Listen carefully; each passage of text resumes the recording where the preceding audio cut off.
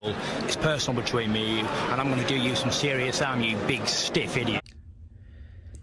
The Untouchable Tru School Sports Empire proudly presents something the boxing games are missing. Hey, what's going on? It's your boy BT, and I came here to talk some boxing with the thousands of Tru School Sports subscribers. Now, this is my better late than never official post-fight review for Mikaela Mayer versus Natasha Jonas, and the result of the fight is a controversial Natasha Jonas split decision victory as she retains the IBF welterweight title. Now, it's a very interesting fight because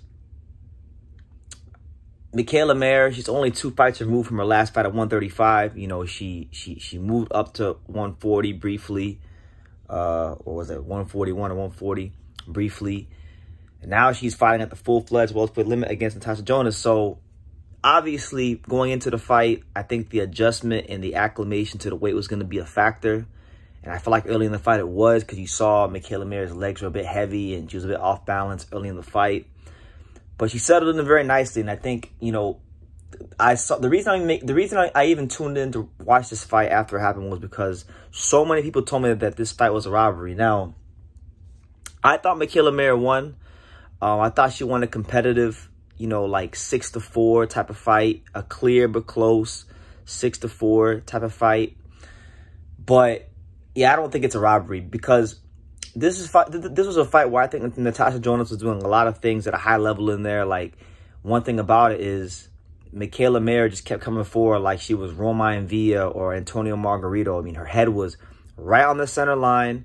It, it was there to be hit, and she, and, and she didn't come to box in this fight. She came right to fight, and so it gave Natasha Jonas plenty of opportunity to counterpunch right in between the high guard of Mikaela Mayer, and she did. She, that, that, that left hand was there the whole fight.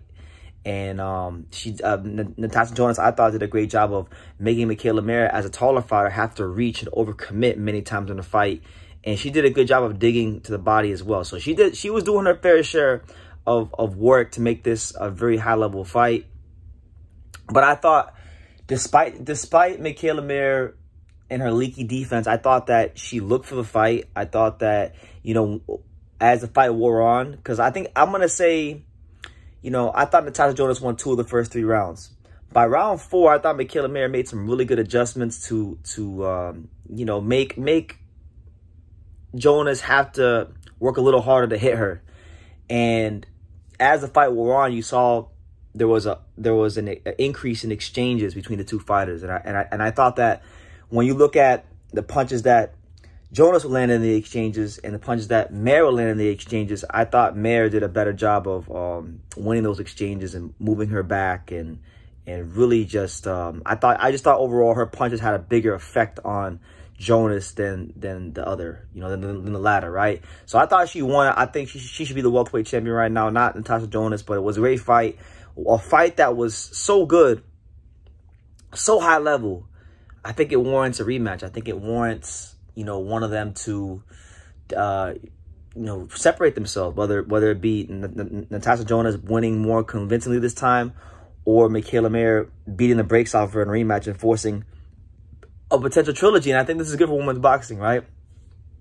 And you gotta, I, I, I kind of do feel for Mikaela Mayer because, you know, she had a very close fight with Alycia Baumgardner that I thought she had a case to win and she's to feel that she should have won the fight. This fight, I thought she won. I, I didn't think there was no case. I thought she won this fight, clearly. And they didn't give it to her. But look, it's par for the course when it comes to fighters and uh, about the fighters on the road in Liverpool. I mean, Mikaela Mayer should should have called my boy John Ryder up and asked him about how it went for him when he went to Liverpool against the likes of Callum Smith and Rocky Fielding and how there really isn't fair judging when it comes to opposing fighters in Liverpool. And, you know, when you factor in that Natasha Jonas is the Olympian, she signed to Ben Shalom and BOXXER, They're fighting in her hometown. Um, also, too, you know, British boxing, and I, I think there's a preference in British boxing more so for clean and effective punching. Uh, as far as like, you know, landing one nice clean shot as opposed to, you know, three or four coming forward. They like when fighters move around and counter and those kind of things. That's always the favorable style in the UK. and the, the evidence of that is like look at John Ryder when he went there. I thought John Ryder outworked Callum Smith, right? They didn't see it that way. They gave it to they gave it to Callum Smith. So it's it's the same thing. So Mayer has a, a second loss on her record. And um, it's interesting for her because right now, when, when you look at the welterweight picture in the women's boxing, you know, Jonas has that that IBF strap at the moment at this moment in time.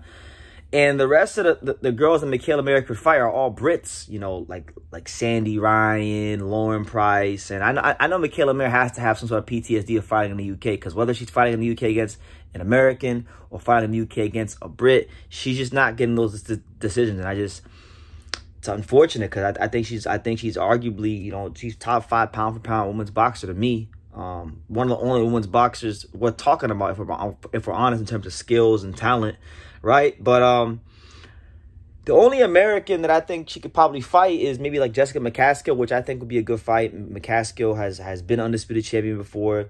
She's a bit long in the tooth now. She's she's 39 years old the same way Natasha Jonas is 39 years old. So um, it is what it is. You know, I think in a fair and just world there should be a rematch because Mikaela Mayer, I mean, she was doing some great things, the high level things, uh, the, the, short left hook she was landing, the the body work, the inside fighting, um, the the way she was setting things up. I mean, she she closed the fight really strong.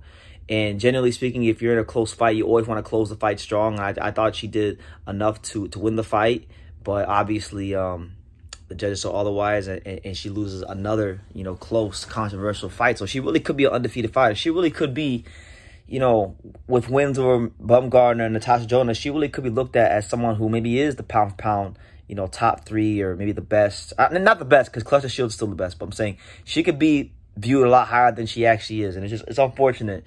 You know, you, you, you would never think that in women's boxing where there's not as much money that there'd be politics, but now there's more money in women's boxing. So as the money follows, so does the politics. And, and, and Mikaela Mayer is, is unfortunately on the wrong side of those politics. So, um, Make it what you will. I'm not, I'm not, I'm not, I'm not crying robbery. I just thought Mikaela Mayer did enough to win. Shout out to Natasha Jonas. She fought a great fight. She used her, her, her amateur pedigree as a as a as a as a fellow Olympian to make Mikaela Mayer reach and counterpunch her and, and, and, and, really fight an intelligent fight. So, you know, I'm not angry that she got the decision. I I just thought Mikaela Mayer should have won the fight, but those are my thoughts on the fight. But how did you guys see it? Does anybody out there think that uh, Natasha Jonas won? Did you thought Mikaela Mayer won? What did, what did you score? You know, leave your comments down below. Make sure you guys take the time to subscribe. And like I say in every single one of these videos, you can love me or you can hate me, but I'm just a kid from Daniel. So until next time, take care. Thank you for watching another video on the untouchable Tru School Sports Empire. For more great boxing content just like this video, click right here and make sure you subscribe. Much love from sunny South Florida.